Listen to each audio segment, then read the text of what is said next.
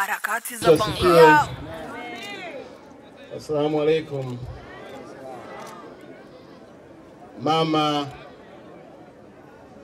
wa marehemu, watoto na mzazi mwenzake na Godzilla, wasanii wote na kiongozi wetu wa BASATA, nianze kwa kutoa pole kwa msiba mzito ambao umetukuta na hasa sisi wa Tanzania tunaoishi katika mkoa wetu wa Dar es Salaam. Nilipata taarifa za msiba, pamoja kwamba sikumfahamu vizuri, lakini nililazimika kutafuta kumfahamu, na baada ya kusikiliza kazi zake na kuangalia interview zake mbalimbali, ni hakika tumempoteza mtu muhimu mwenye uwezo mkubwa laiti ningemfahamu mapema, nina imani nami ningekuwa na mchango katika maisha yake, kwa sababu ni mtu aliyekuwa anatambua anachokifanya.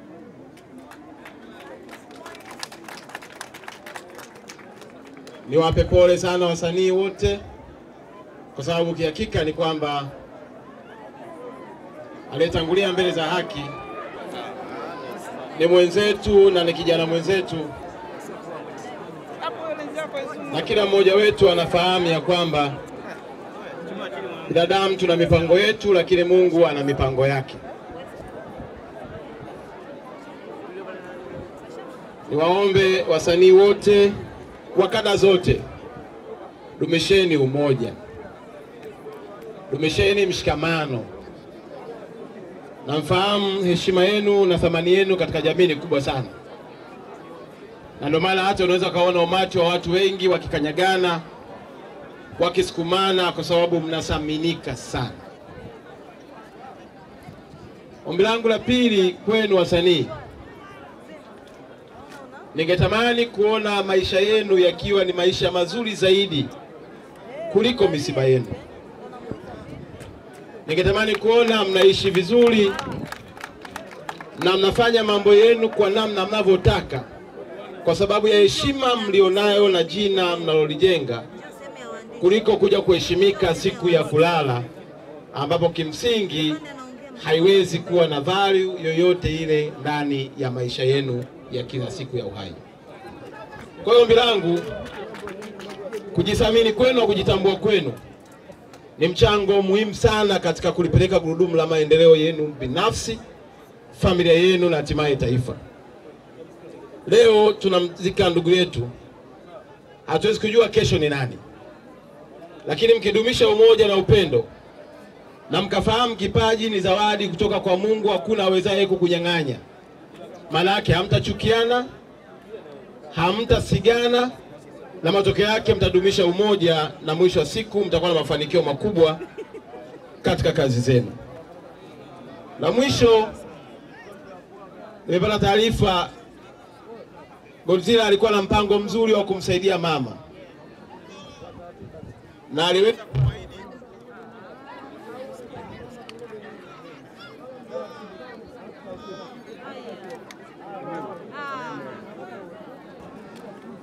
nimesema pale, nafikiri kwamba nilipata taarifa kwamba ndugu yetu marehemu alikuwa na mpango wa kumsaidia mama yake kiuchumi akawa amempa milioni nne lakini akiwa na malengo ya kumpa milioni tano ili aweze kuanzisha farmers kama sehemu ya kujitegemea kiuchumi, ndoto ambayo ni nzuri.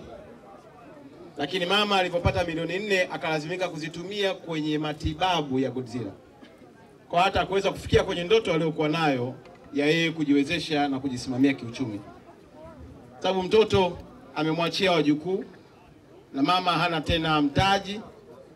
Kwa nimeamua kuitoa hiyo milioni tano siku ya Jumatano na ndamkabidhi FDQ, atakuja kuniwakilishia kwa mama kama sehemu ya kuendeleza ndoto aliyokuwa nayo Godzilla ya kuhakikisha mama yake anajiendeleza kiuchumi na kuweza kujitegemea, lakini pia kusaidia wajuku zake ambao ameachiwa nao. Nimewashukuru ndugu zangu Sarasara kwa ushirikiano mlioonyesha. Nawashukuru wasanii wote kwa umoja mlioonekana nao, na zaidi ya yote tuombe Mungu safari yetu iwe njema kuliko ambavyo tungeweza kufikiri. Leo ndugu yetu anazikwa na watu wengi kwa sababu ya kipaji alichokuwa nacho. Ni matumaini yangu kila mmoja akitumia kipaji chake vizuri ataheshimika katikati ya jamii, lakini pia ataheshimisha na wazazi wake. Mungu wangu awabariki sana.